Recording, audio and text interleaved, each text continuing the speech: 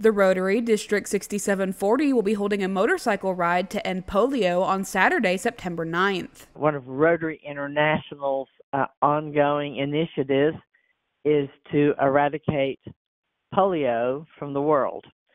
So every year, Rotarians all around the world, uh, 1.4 million of us, raise money to help uh, eradicate polio.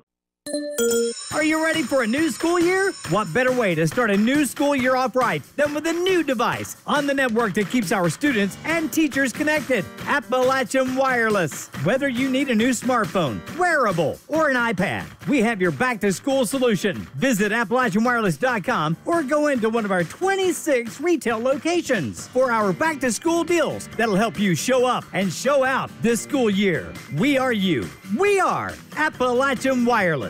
The ride, which will begin at Mineshaft Harley Davidson in Pikeville, will host a number of fun activities like a silent auction, a 50 50 raffle, and will even have live music and food trucks at its conclusion at the Appalachian Wireless Arena. Our district has never done a motorcycle ride for anything.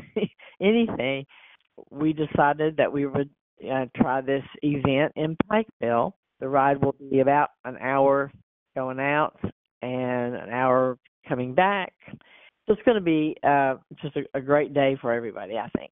Plus, raising money for a good cause. Registration for the ride will begin at 9 a.m. on Saturday, September 9th, and will cost $20 per bike and $10 per rider. All proceeds from the ride will go to the Rotary Foundation's Polio Plus program. For more information, you can visit the Pikeville Rotary Club Facebook page.